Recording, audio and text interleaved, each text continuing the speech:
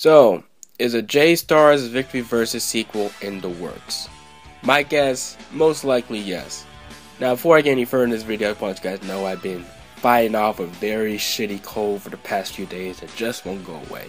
So, my apologies if I sniffle or cough a little bit in this video because, you know, this cold has been beating the shit out of me for the past few days. I'm like, god damn. But, anyway, on to the topic of the video a possible Victory Versus sequel. Now, it's been a while since I made a discussion video about J-Stars. I plan to do a couple more videos because we're getting very close to the release date, which is Mar um, March 19th. So, we're about a week and a half away from release, so we're getting pretty close.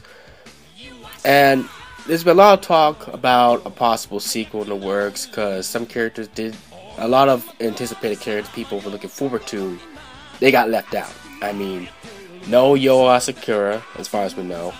No Yugi Muto. No Kinnikuman. No this. No Light Yagami. You know, characters that a lot of people were predicting to be in this game were not in the final roster. The final roster right now, in case you don't know, is 52 complete char- is 52 characters right now. Uh, 39 playable and 13 support characters, so that's like a total of 52 right there. Now, there's most likely going to be maybe hidden or secret unlockable characters in the game. I'm not too sure. Any type of games that usually do have, you know, hidden characters you can unlock, but there's no confirmation on that just yet. So I'm I'm predicting there's gonna be at least one hidden surprise character that you have to unlock. Like once you like beat maybe once you, maybe once you beat like the story mode, you know, you get like the secret character. I don't know who it's gonna be, but we'll find out soon enough. Now, is there going to be a sequel? Hell yes. They're they're definitely going to make a sequel to this game. I can definitely tell you that. At least, if not a sequel, at least some type of expansion. I mean, they've done this before with other games of this type. They've done it with um, Jump Superstars, which had Jump Ultimate Stars, which was released like a year later. Yeah, you know, they try, they do they typically do this with fighting games. And this game has a lot of hype going behind it. You know, it's definitely going to sell very well, if not well, at least great in its first week in Japan. And it's already at least a couple thousand, or at least maybe a couple ten thousand people who are planning to import it. Actually, no, ten thousand seems a little bit. It seems a stretch. That seems like I'm stretching a little bit. Uh, a couple thousand people, at least from what I've seen on the internet, from certain forums and certain you know, boards, message boards, are planning to import this game because, like, be honest, people are still holding up, holding up hope for you know a release in America and United States. Well, that's not gonna happen, folks. I mean, as much as we want it, as much as we want to get this game, it's not gonna happen because you know, I don't feel like going over the reasons again. I've been, I've stated the reasons why we're not to get a Western release before. So if you don't know why, it's pretty obvious, you know.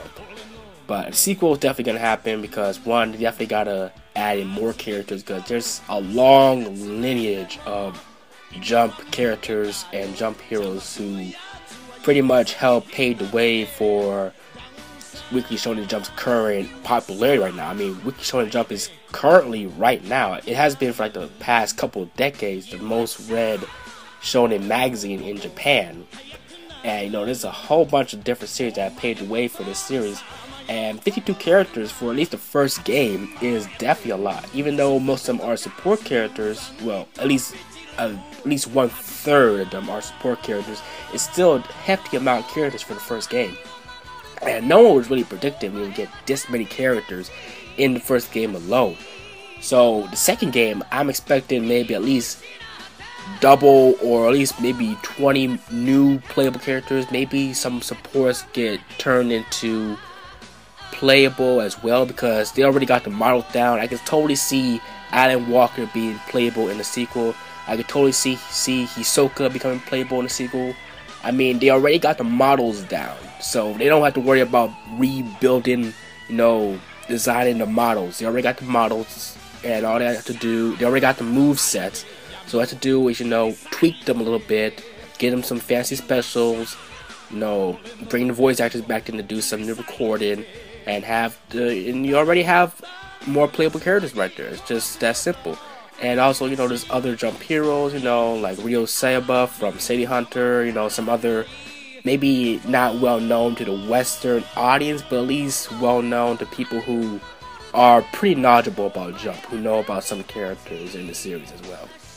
So I definitely see a sequel coming, and it's most likely going to come at least, if not this year, at least next year, because if this game does sell well, I mean, what company in their right mind would not want to make a sequel to a game like this if it does sell well?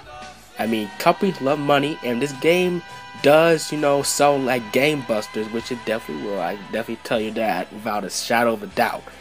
A co the company, uh, Namco Bandai, Spike, Chunsoft, who's ever working on it, they're gonna jump on it and they're going to release a sequel. It's definitely happening in the future. So what do you guys think? Who do you guys want to see in the sequel?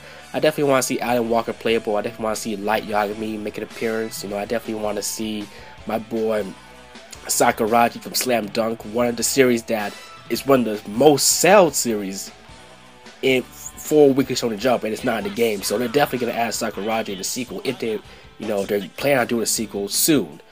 So uh, just give me your thoughts, guys. Who do you guys want to see in the sequel, and what kind of things, what kind of tweets you want to see in the sequel once they release it. So let me know. Comment, rate, subscribe. Fucking cold. I'll catch you guys again next time. Keep on keeping on. Peace.